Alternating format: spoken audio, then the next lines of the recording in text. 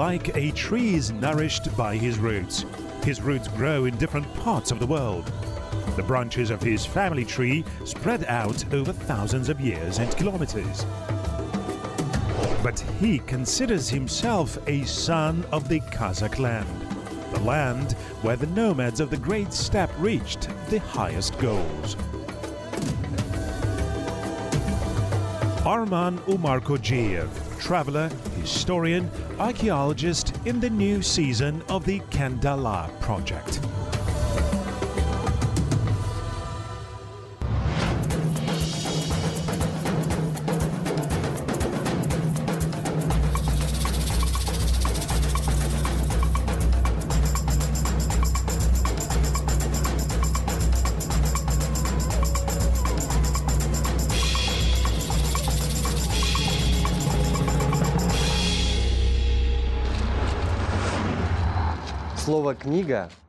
The word book has long been used in a figurative sense, which makes sense because a book is a source of knowledge.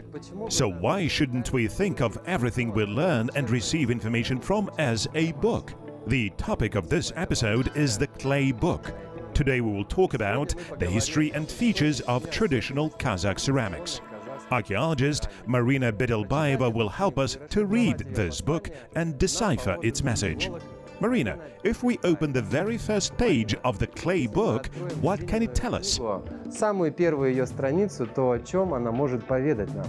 Я полагаю, что глиняная книга I think that the clay book, the invention of clay products, especially ceramics, can probably be put on a par with such major discoveries of mankind as the invention of the wheel, the advent of the steam engine, and the advent of the personal computer. э, появление персонального компьютера. Marina Bidilbaeva, archaeologist, candidate of historical sciences, works at the Sararqa Archaeological Institute at Karaganda State University, head of the Museum of Archaeology and Ethnography.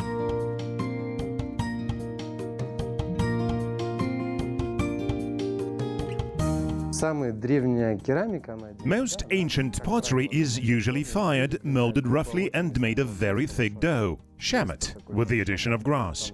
So, first clay products were molded. They were originally egg-shaped. These were vessels with pointy bottoms. When people put such pots with food on a surface, they tipped over and everyone was hungry again.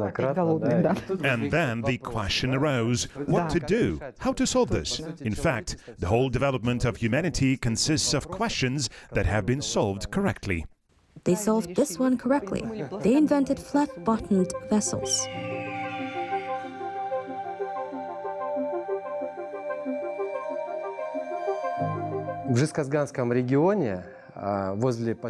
Once there was a flood in Zhezkazgan region near the village of Taldysai. When the water receded, it washed out some of the surface and uncovered clay or rather ceramics, crocks.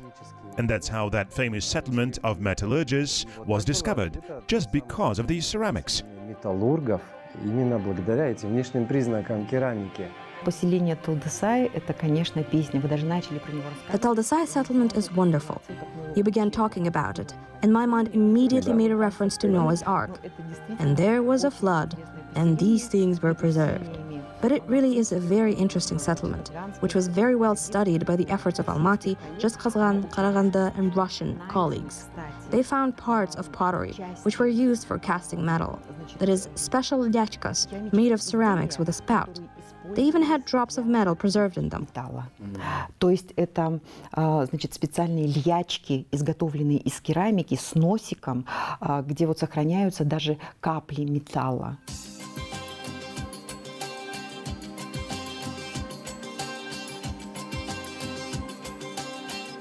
I've often seen signs of repair on ancient pottery.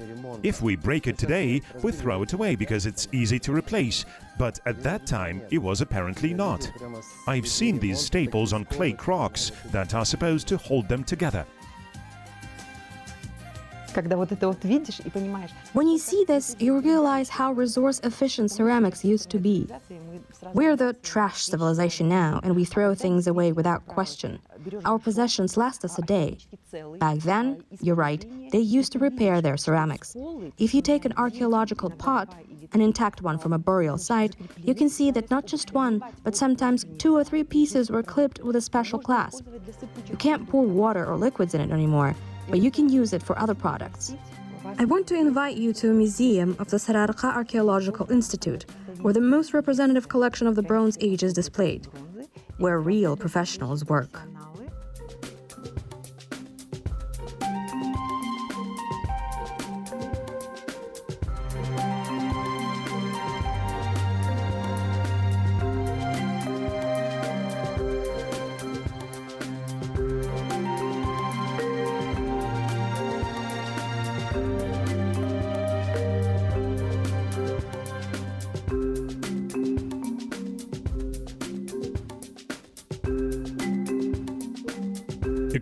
To archaeological studies, what is the most ancient crockery found in the world and in Kazakhstan in particular?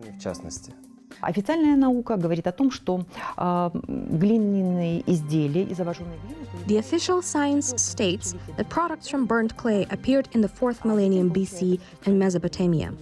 It then spread to Iran, India, and ancient Greece. So we can safely say that the concept of the Neolithic Revolution in the Neolithic period, which is 5th to 3rd millennia BC, is also connected with the appearance of ceramic production. а, связаны еще и с появлением керамического производства. То есть фактически можно, наверное, считать, что... We can probably claim that human civilization as we know it began with this stunning discovery that clay can be used to make something and not just anything but useful everyday items. делать. И просто не что-то делать, да, какие-то полезные бытовые вещи. Мне приходит на ум э, аналогия с Библией, An analogy from Bible comes to my mind. When it was out of clay that the Lord created men.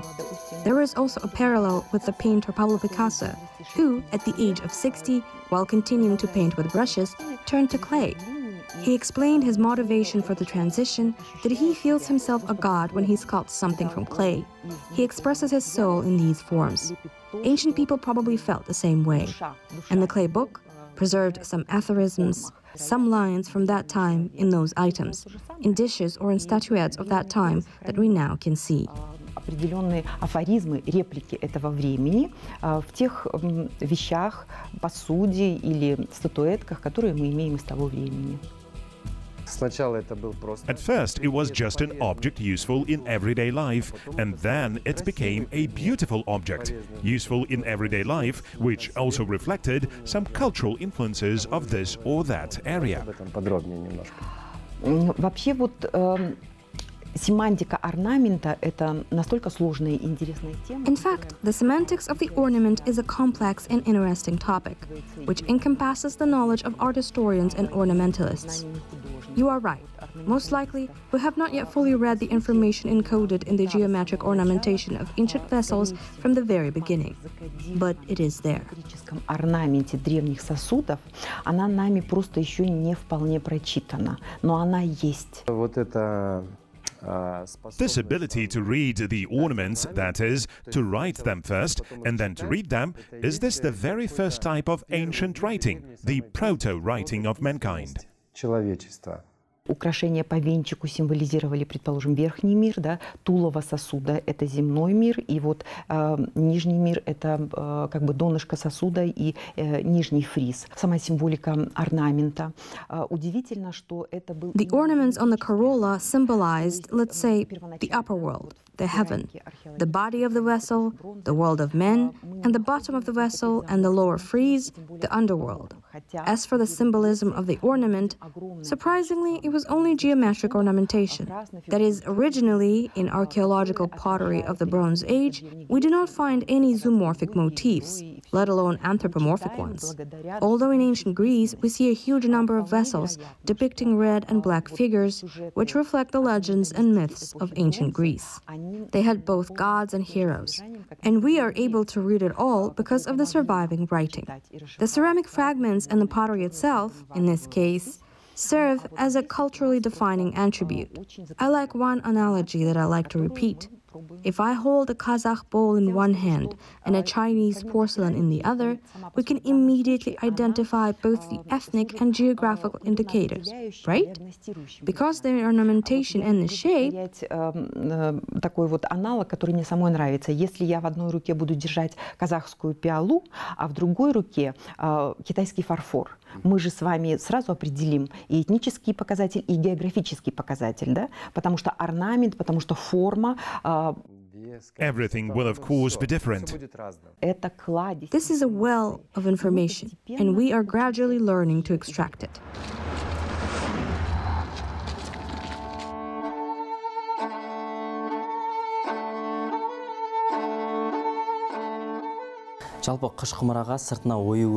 When applying the ornament, each shape of the jug has its own specific pattern. At the same time, the ornaments for pottery and for felt were very different. The jugs did not have heavy, coarse ornaments, only gentle, light patterns. This was done to match the exquisite shape of a jug. If the shape of the vessel is complex, the ornamentation should be light, so that when a person looks at it, he feels as though the jug is light. This is in the Otirar style, when most often the ornaments took shape of sun symbols, wavy lines, and ram's horn. жалпы қошқар мүйіз ә, күн бейнесіндегі адам ою өрнектері жиі салынатын болған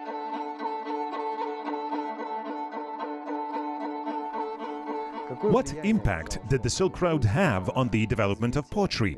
And can we also talk about the globalization of the pottery market at that глобализации time? рынка керамики? Мы можем говорить о глобальности древнего мира и средневековья э, с полным правом. То есть это м, We can rightfully talk about the globalization of the ancient world during the Middle Ages. центрами This process can be proven archaeologically. естественного производства. It is certain that the centers of ceramic production, craft production, production for exchange, and production for sale were the medieval cities in the south of Kazakhstan. These were the cities of the Otrar oasis I'm amazed that now you can walk through the ruins of these settlements and you can find ceramics right under your feet. You can take it home as a souvenir. This means that the mass production of ceramics at that time managed to provide all the townspeople with the necessary set of utensils and wares, and also allowed for exchange. городских жителей необходимым э, набором посуды, изделий и м, позволяла осуществлять обмен.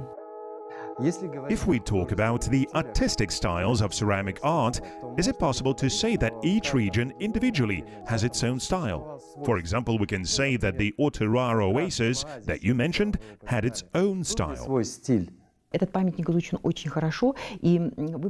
This cultural monument has been studied very well. Albums representing Otrar's ceramics have been published, which included giant homes, which were used for different purposes. Some items of ceramic production were used to build baths, meaning they installed sewage pipes made of ceramics, and we can see the traces of it now. There were also huge rooms acting as pantries, stacked with ceramic vessels that were dug into the ground, specifically to provide preservation of food products such as maybe dairy, maybe wine, maybe some other products. But this all was documented by scientists. And the pottery of the Otrar oasis is an easel pottery, made with a potter's wheel, with reddish white angob. Later, people started making glazed ceramic dishes, which had some symbols that can be interpreted as writing. This is a very good indicator that there were connections that united the whole Muslim world by that time. Там есть некие знаки, которые можно м, Ну, рассматривать кстати, как вот этот момент мы We discussed this with the archaeologist Karl Baibakov once, and he said that these symbols that can be viewed as writing are an imitation of Arabic script. The potter was unlikely to know Arabic, as it was an exclusive knowledge, so he just imitated the letters without understanding their meaning. Ранее средневековая, средневековая, поздняя средневековая история Атрара достаточно хорошо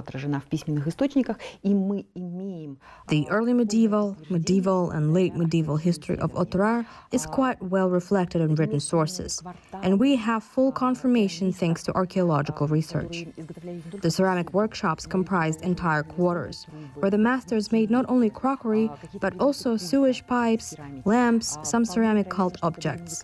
It is quite possible that they were making musical instruments, the likeness of which we now can find in the Kazakh national musical instruments. All this was produced in the workshops of Otrar ceramists. The workshops had areas where the vessels were covered with ungob coating and where they were left to dry before they would be burned and then would become the final product. This is proven by the dozens of found vessels.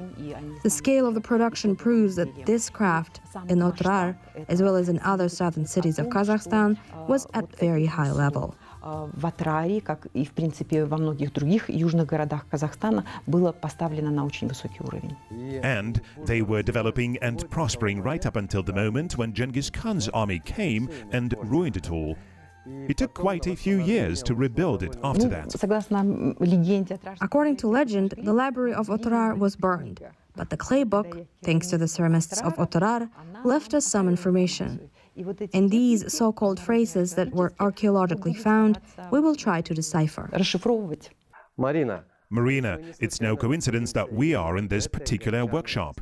This is where the Autorara style is presented in all its glory and the master has something to tell us about it.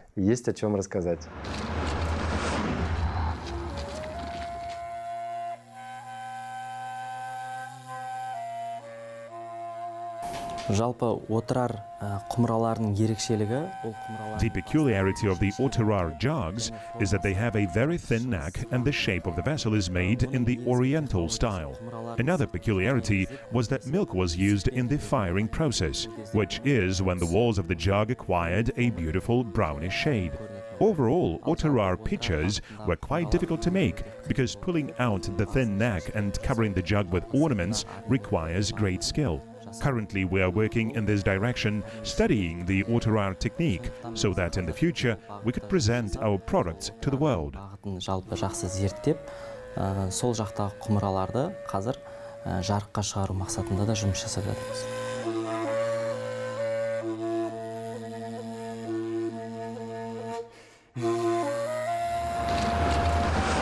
The spinning of the potter's wheel reminds me of the spinning of the wheel, which in Ken Dala program symbolizes the movement of time and the course of history. So it's time to turn this page of the clay book and move on to the next one. Later on, what other motifs and symbols appeared on Kazakh pottery?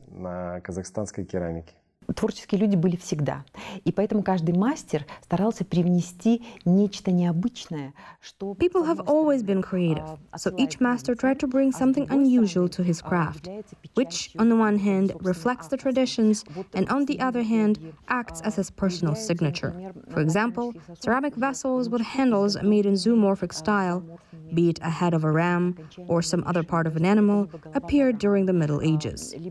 This is the oguzes. Which means, if Muslim religion forbade the anthropomorphic motifs in ceramics, like the ones we see in ancient Greece, then people tried to decorate pottery in other ways, using beautiful zoomorphic motifs, which clearly enriched and adorned these ceramic dishes.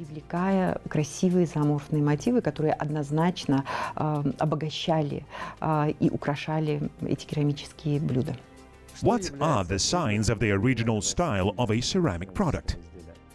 Мне кажется, это масса признаков, и над этим надо серьезно работать. А, Почему мы же говорим, что у каждого мастера есть свой стиль. А, I think there are a lot of signs, and they have to be studied. Every master had their own style. Medieval ceramic masters achieved, I would say, the highest levels of craftsmanship. You can determine the school of ceramists based on the shape of the vessel, the thickness of the walls, the clay used, as well as the material added to the clay, the way it was molded. They even used such an indicator as the sound a vessel makes. It's a sign of superior craftsmanship when the ringing sound made by the vessel is loud and long. Далее, а, Значит, такой показатель, как звук, который издает сосуд. То есть, ну, это м, признак высшего мастерства, когда а, звон, а, распространяемый сосудом, он звонкий а, и долгий. У каждого мастера в древности, конечно, были свои секреты. Every craftsman in ancient times had his secrets, which were strictly guarded and passed down only from father to son, from generation to generation. Today, all the potters gladly give master classes and sometimes go somewhere to educate themselves. Let us then have a masterclass. Поучиться. Поэтому давайте-ка мы устроим мастер-класс.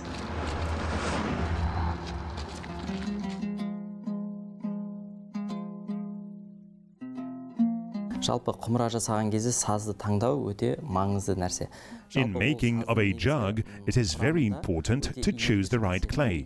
The structure of the clay should have plastic properties. The clay should be very sticky to the touch and it should be malleable when placed on the potter's wheel. In short, when choosing clay, you should feel it properly with your hands. Each type of clay is different and can be fired at different temperatures. Red clay is fired at the temperature of 1000 degrees White clay and its varieties at the temperature of 1100 degrees. If the clay needs 1000 degrees and we fire it at 900 or 800 degrees, the resulting ceramics will be brittle and they will have a different sound. You can also determine the correct firing by the sound. қыш қышқа ұқсамайды ал негізі жақсы күйдірілген құмыраның дауысы кәдімгі күйдірілген бірден сезіліп тұрады